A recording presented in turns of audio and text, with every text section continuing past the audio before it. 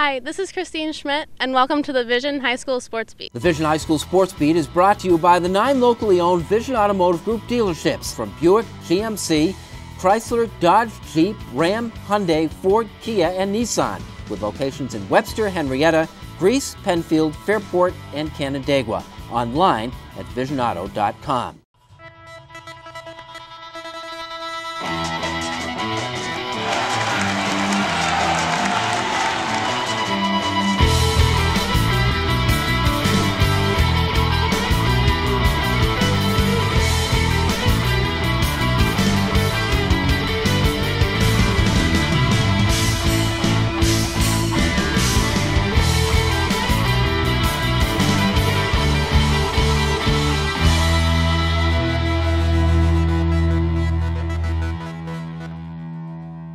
Hello everyone, welcome to the Vision High School Sports Beat.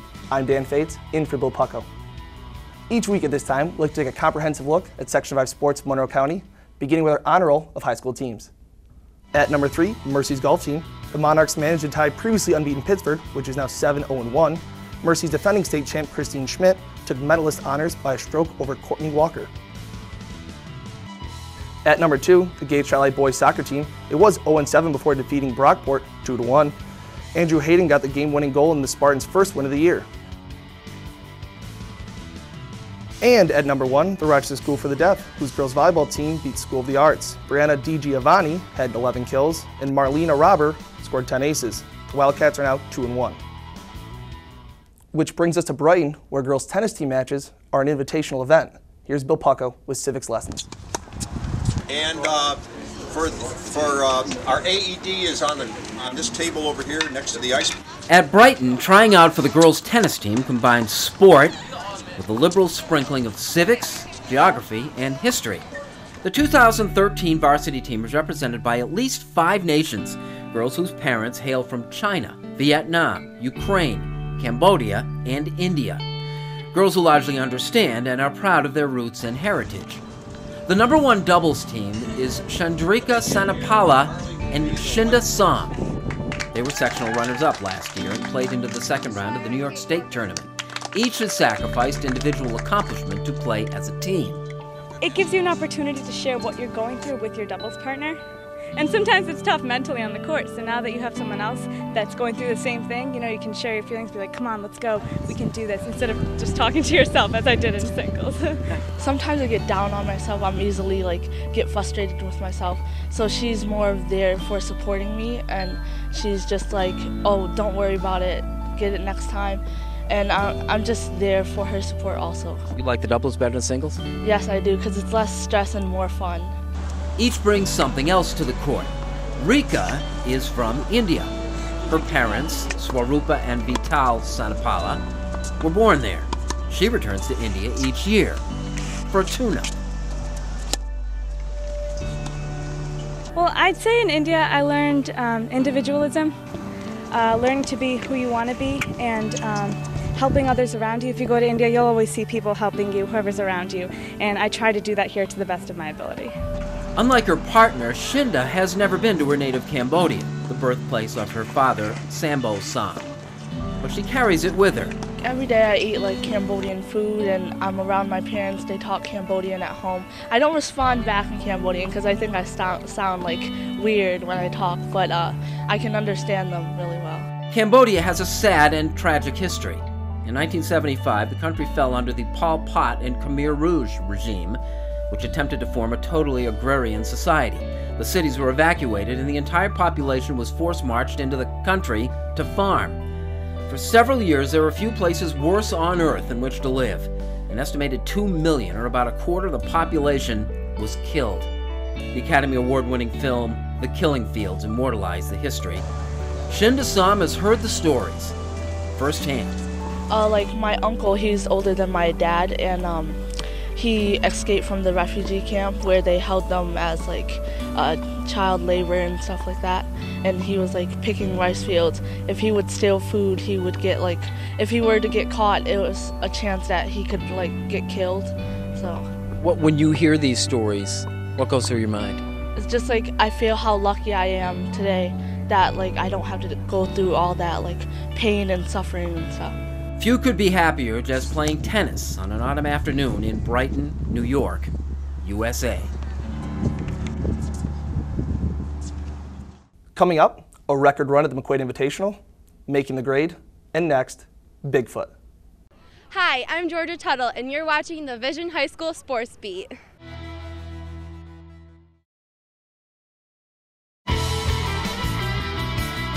Welcome back. Thanks for watching the Vision High School Sports Beat. I'm Dan Fates.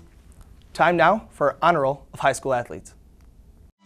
At number three, twins Laquita and Lakeisha Walker, girls volleyball stars at Wilson, each scored five aces in their win over Marshall. At number two, that Bishop Kearney quarterback Tyler Curtin in a two-point win over Cal Mum. Tyler was 30 for 34, passing for 370 yards and six touchdowns. Through the Kings' first four games, Curtin has passed for 19 touchdowns. And at number one, that girl, Jensine Falumontes of Webster Schroeder, the first female to score a touchdown in a Section 5 varsity football game. Jensine made history in the fourth quarter of the Warriors' 49-8 win over Wilson. The 5'1 senior scored from three yards out. Which brings us to McQuaid, where we found Bigfoot.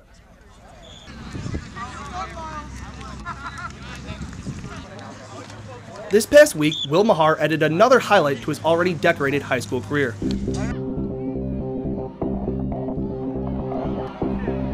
Down by two to Edison with 23 seconds to go, the McQuaid Knights were backed up deep in their own end. Mahar had a plan. Well, right after they scored, um, I came up to the sideline, went to Mark, the quarterback, and I said, Mark, let's let's get a deep pass and, and let's kick a field goal. Um, he's my holder also, so um, and that's exactly what we did. And whoever said kickers aren't athletes have never met Mahar, as he caught a 41 yard post route and stepped out of bounds with 0.8 seconds on the clock to set up the kick. We were out there in the huddle, and you know he was kind of keeled over because he'd been playing the whole game. You know he was double digit in tackles as a D back, and as a receiver, he had over 180 yards catching and stuff like that. And so he gets his drink of water at halftime. So he was a little bit gassed, but he was just keeling over there, getting his thoughts of that. We just leave him alone and let him do his thing. And from 52 yards out, Mahar did what he does best.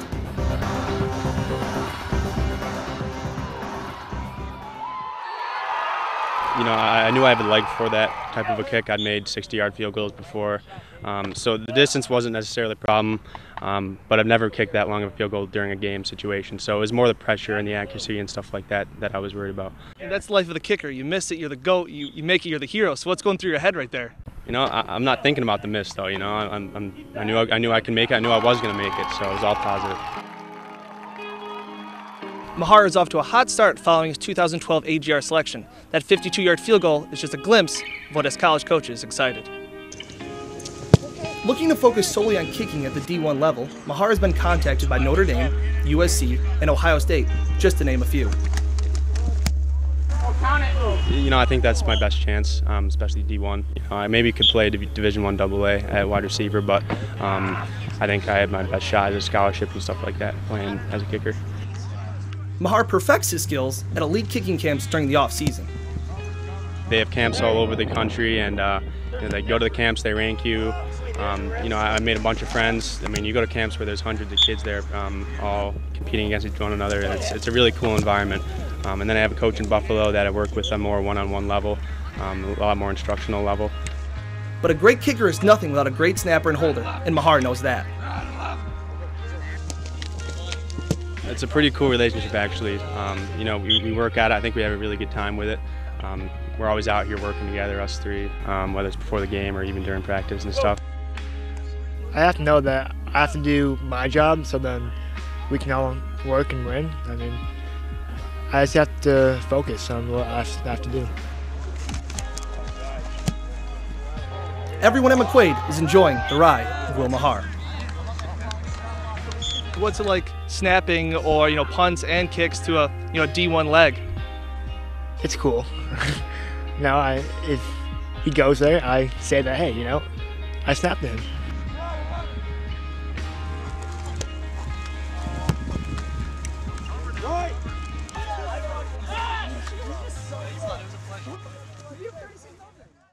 When are your turn? Our Cellino and Barnes All Sports High School Game of the Week, and Kim Burnson joins us for our Vision Making the Grade honoree. Hi, I'm Elise Manzi. Hi, I'm Raina Mandera. And you're watching Visions High School Sports Beat.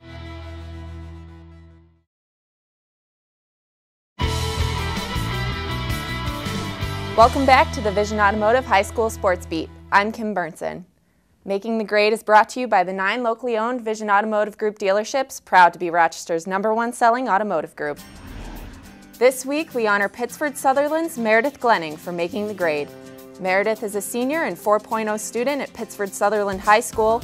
She is captain of the varsity golf team, member of the varsity crew team, and serves as co-editor of her high school yearbook. This past July, Meredith traveled to Jamaica with the First Presbyterian Church of Pittsford, where she helped run a sports camp for disadvantaged youth. There, she worked with local children of a variety of ages, teaching them how to swim, dive, and tread water in a pool.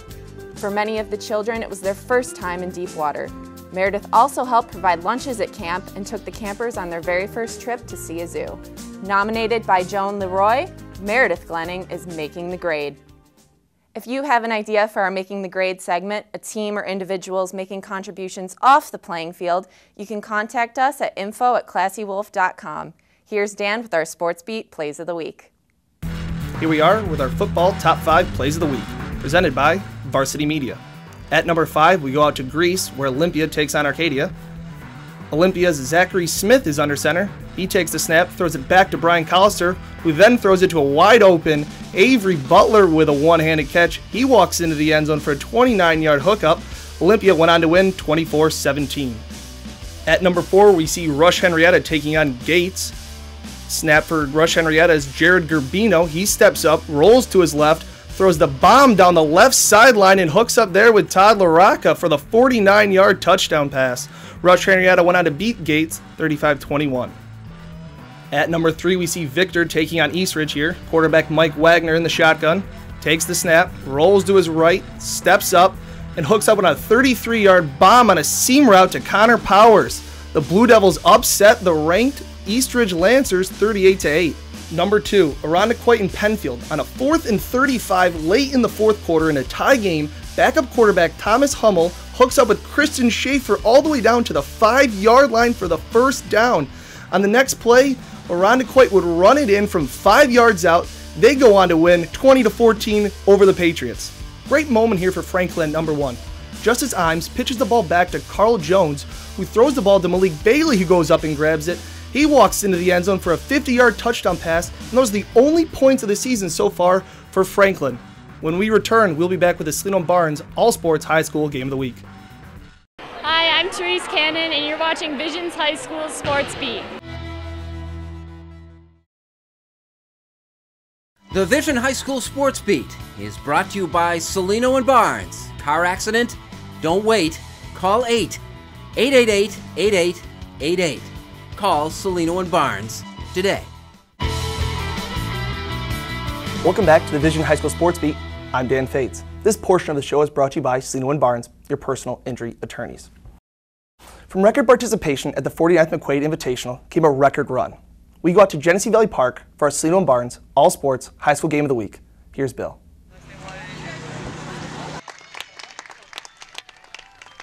For the last 41 of its 49 year run as Rochester's most prestigious cross country meet, the McQuaid Invitational has taken place at Genesee Valley Park. We, we never really tried to make it uh, bigger, but uh, it, it jumped and jumped and jumped by the time we went out to RIT in 1968. Uh, we were at 75 schools, but coming here in 73 to the park really uh, made it because it's a great place for a meet. Uh, and we, have revised the course numerous times, but uh, it's just a wonderful place to race and watch races.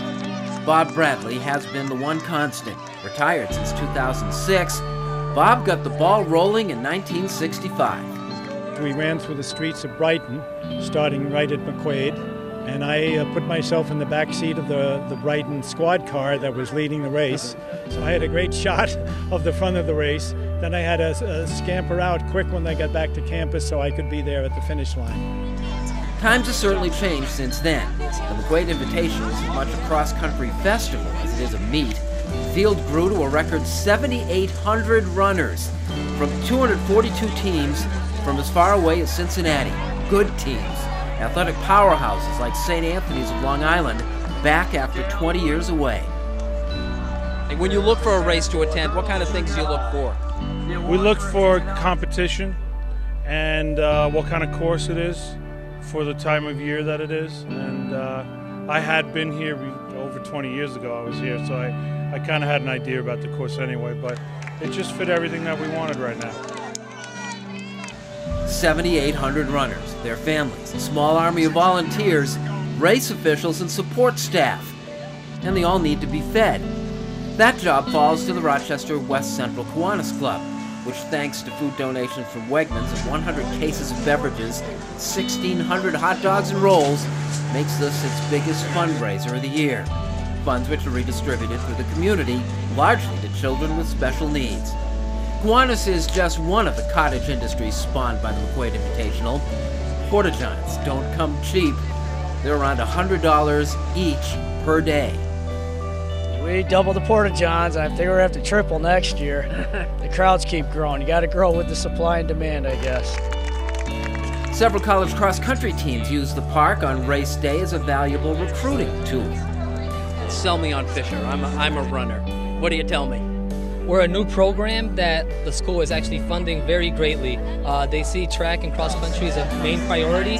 We're getting great funding. There's tons of coaches with lots of experience, and who want you can be something new. It's part of something new. We're the first time, so you can come in, set records, and set the face for the program. So come to Fisher. The McQuaid volleyball team was here in force and in pink, ready as always to lend a hand sports community, team building, it kind of works into all that, doesn't it? Yeah, absolutely. It's uh, I think it's uh, a really nice in Rochester is a really nice community of all the athletes and high school athletes and all that. So to help each other out, I think is really nice. So the Invitational is about more than racing, but the race matters a lot. Among the stars of the girls' seeded race was Katie Lembo of Penfield. I knew it would be like a bunch of people like up there, so I knew that I had a chance. But at the two mile mark is when the first place girl like caught up to me. So then I'm like, okay, I'm gonna have to try to work with her and see like how the rest of the race plays out. Lembo won this race as a junior. This year, she wound up third in a stronger field. It's my favorite race of the cross country season, just because it really gets me excited when I hear that like 26 other states are going to be running in it. I mean, I love the competition. Katie's performance was eclipsed by another Section 5er, Syracuse University bound senior Mickey Burke of Rush Henrietta, who led from early on and headed down the stretch toward the finish line in record time. The excitement and momentum just builds through you and just everybody roaring your name and just and everybody knowing you too and came out to support you is just great. It's it's nothing you could ask for. The fastest boys time of the day of all the races. From Rush Henrietta, a senior with a time of 14:25.3, Mickey Burke. Burke came in a full 10 seconds under the previous fastest time for the course, breaking a mark that stood 11 years record participation, a record setting performance, perfect weather. Next year brings the 50th McQuaid Invitational. What do you do for an encore? The rodeo we put on here today, in a sense, will be enough to, to promote other teams, you know, wants. And hopefully, you know, they'll come in. Last year we had a team from Strake Jesuit. You know, this year we brought in St. Anthony's, who hasn't been here in 20 years. But when you look at who's coming, it makes it worth the while. Thanks to our Sports Beat sponsorship partners, Ross Cellino and Stephen Barnes, your personal injury lawyers, and the nine dealerships in the Vision Automotive Group, they make the Sports Beat possible. Thanks for joining us, and we'll see you next week.